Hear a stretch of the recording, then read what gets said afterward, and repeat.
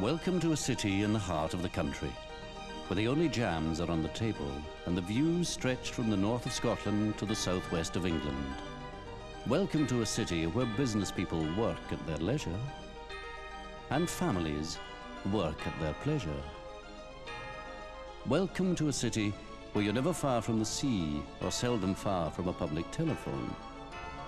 Welcome to a city where every year millions of visitors are greeted with a friendly punch by gentlemen who still wear hats. Welcome to Intercity.